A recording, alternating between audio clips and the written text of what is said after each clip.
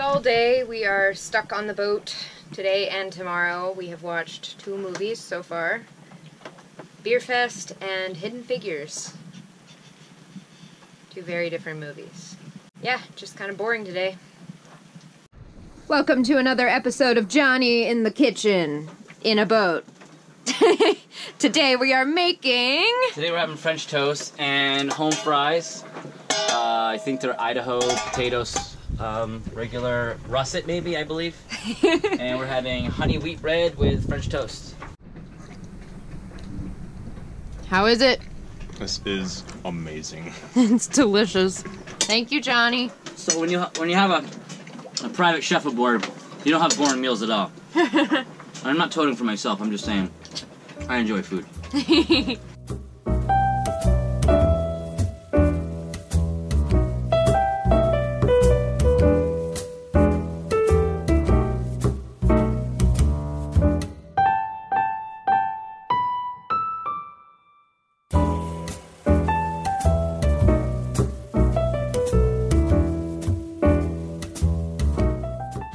Ran out of gas, and uh, luckily the cruise ship island was able to sell us some gallons of fuel, so we could keep the generator running and the dinghy going.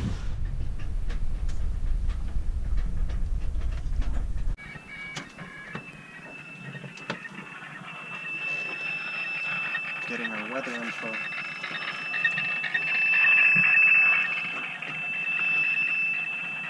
The frustrating thing is that the weather's not letting up, and we are in the Bahamas, but we can't see them. Uh, mainly because all the islands around us seem beautiful, but as soon as we get to them, there's a big no trespassing sign because they're all privately owned. So, we're kind of trapped. It's a good protected anchorage. Uh, it's still pretty rocky, but we can't really go anywhere.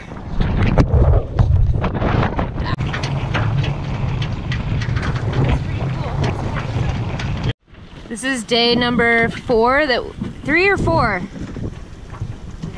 This is day number too many that we are stuck here because of weather. And without civilization around us, we really need SIM cards to get contact to the outside world. So Johnny is going to dinghy the five miles to civilization. We've called the SIM card place. He's gonna pick them up for us. And he is preparing for the worst, although we hope that it'll be fine. Herbie was opposed to the idea of anybody leaving in such bad conditions, but Johnny was pretty adamant about wanting to get off the boat. So he braved the five mile trek to land, and it took him three and a half hours. He wasn't able to return until the next day. We're a little nervous right now because it's 9:30 at night. It's really really windy, and we haven't heard from Johnny since before the sun went down. So he went to shore at about one o'clock, and he it took him about three and a half hours to make the five mile trek because it's so rough right now.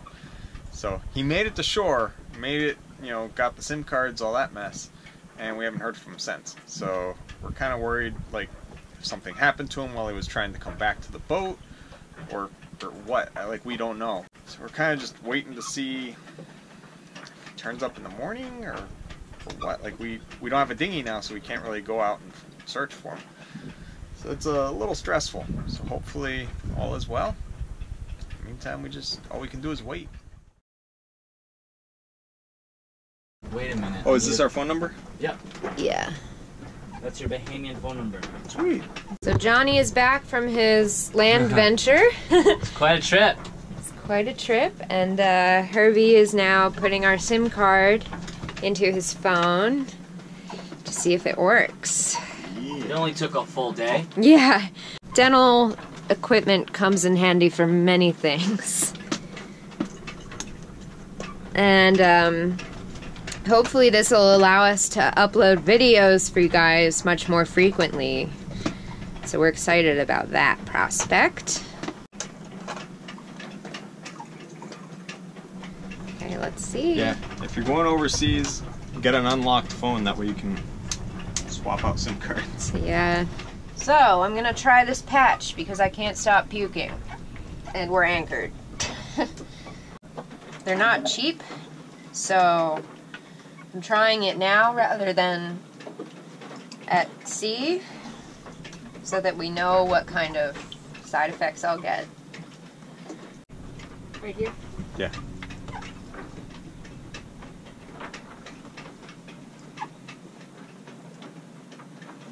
Okay. We'll see.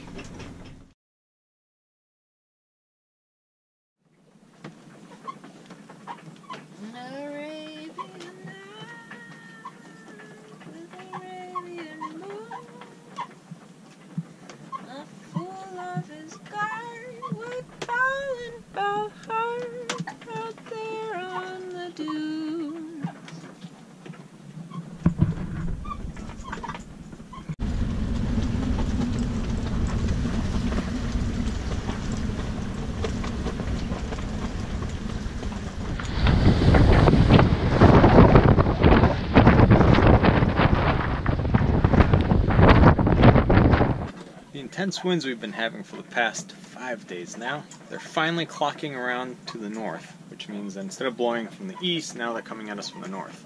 The reason this is good is it means the storm is finally passing us. So tomorrow it's supposed to calm down, and then the winds will be blowing out of the south, and when that happens, we're going to go out the inlet and go to somewhere nice.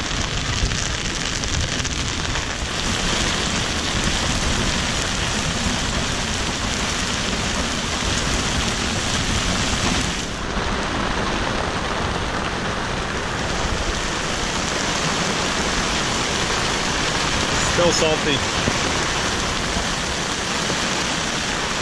It's getting better. We just gotta wait for the salt to get rinsed off before we can open the tanks up.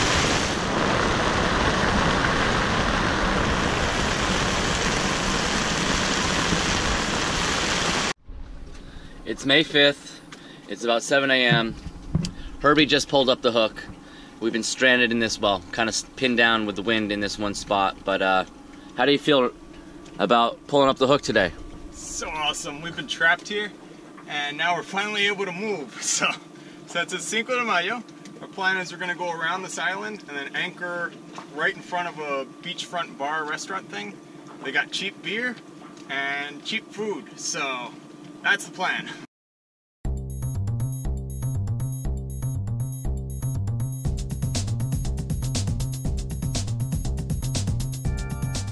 How's it going out here, Captain? Let's uh, hear a report. Yeah, so we're coming along, tacking, close hauled. We got three and a half miles to go to our anchorage.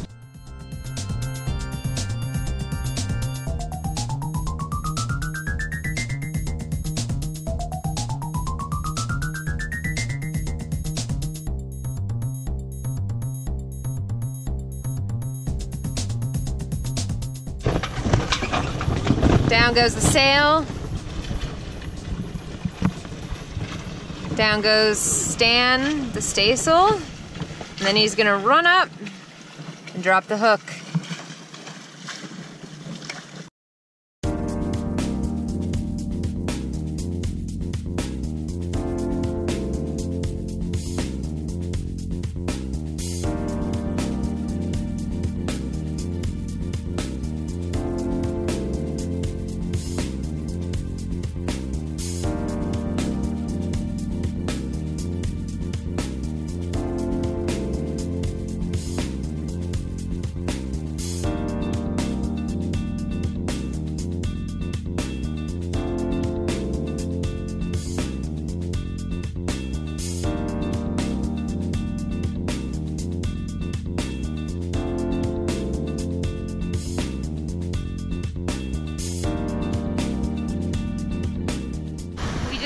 Had a really nice meal and we're gonna go now move the boat closer to land so that we can go snorkeling and experience some island life. It's gonna be good.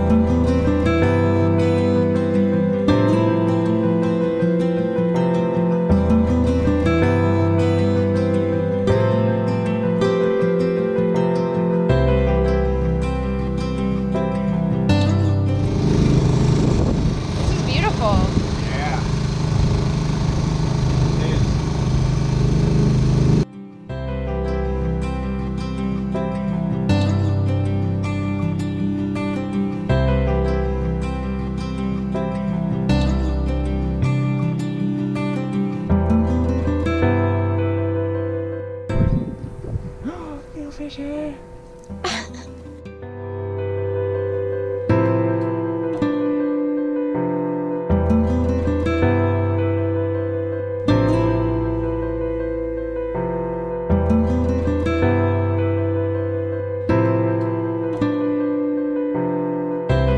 showered. We are clean. We are ready to go to this um, thing, party thing that they're having on shore. chill. Grill and chill. That's what it's called. Hey, we've been trying to. We have been trying to. we had the grill and chill, and then we, some of the people we've met were hanging out on their boat afterwards for uh, sundowners. so, And they have a Morgan too, but it's very different from ours. It's a 72 center cockpit. you know, 71, 71, 1971. And a lot more roomy. Way more roomy. You know. He is so playing dead right now. He's like, if I don't move, they won't see me. Okay, you're done. Oh, touch it. Oh. Come on. Last few days have been a whirlwind roller coaster.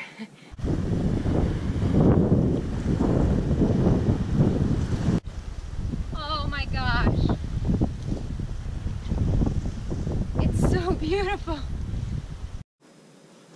So all we do is just set it and then start wrapping. Thanks so much for watching. Be sure to like, subscribe, and share this video with your friends. And if you'd like to follow our journey in real time on a map, receive postcards from our ports of call, and messages directly to the boat, you can go ahead and become a patron using the link in the description down below.